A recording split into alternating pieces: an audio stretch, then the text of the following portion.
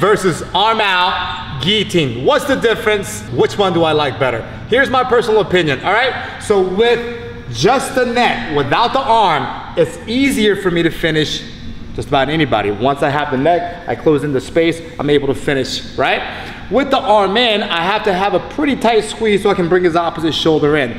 And also though, the benefit of the arm in is that if he defends the guillotine by rolling forward, he rolls out, always switch into a D'Arce, and if he comes up to his knees, I can always go right back into the arm in guillotine. Okay, so the difference is arm in is harder to finish, but easier to transition to other submissions.